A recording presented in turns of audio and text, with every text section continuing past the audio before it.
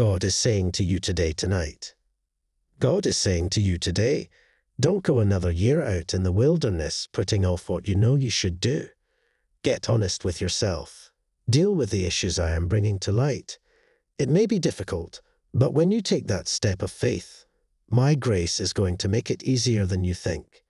If you stop running, you're going to break negative cycles that have held your family down and go into your promised land. You're going to have the power to deal with issues. Heavy weights are going to lift off of you. You're going to rise out of mediocrity and become all I created you to be. God says, My sweet child, by now you already know that you receive supernatural peace by being close to me, acknowledging your dependency on me. Just like manna in the wilderness, you cannot store it up for tomorrow. So please enjoy peace surrounding you right now and experience the joy that comes with it.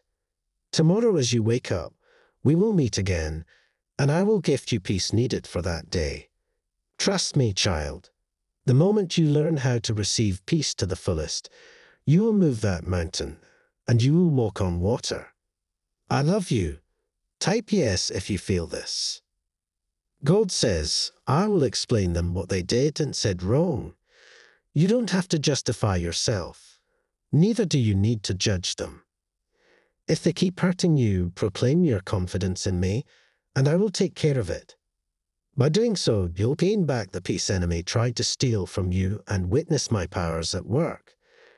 Trust me, child. I am with you, and I will not allow anyone to lay a hand on you. God says, it is hard because you rely on yourself. You're trying to figure it out on your own, relying on the strength that you've gained from the past battles. My dear child, whatever you face, I see it too. Look up to me, and I will show you what to do. I will strengthen you, and I will direct your steps. Remember, Child, you are not alone. I am with you, and I hold all the power of the world to help you. I love you. Type I am sovereign to claim. God says, What once was dead, I will bring back to life.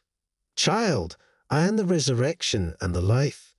If you think that your hope is dead or no longer can you share love, don't worry, kid. I will restore it and I will magnify it so greatly in you that never again will you doubt that I am with you.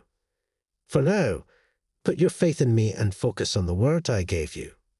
I love you, child, and I will take care of you. Arise, awaken the little faith within you, and walk with me. I will hold your hand a little tighter. I will slow my steps a bit to match yours. I will make up for the lack of faith within you. I will put my own faith, my own love, my own strength in its place until you are filled to overflowing. I love you unconditionally. My love and understanding are not based upon the strength of your faith. They are based solely upon the depth of my love. Do not be ashamed. Confess your doubts and come forward from the tomb of self-pity to walk in the sunlight with me. Come on, come out of there, and take my hand once more and we will be on our way. Everything is all right. You will see. Everything will be all right. Type yes to receive. Support our community and donate us through Super Thanks. Support our community and donate us through Super Thanks. Type yes if you believe in God. God bless you.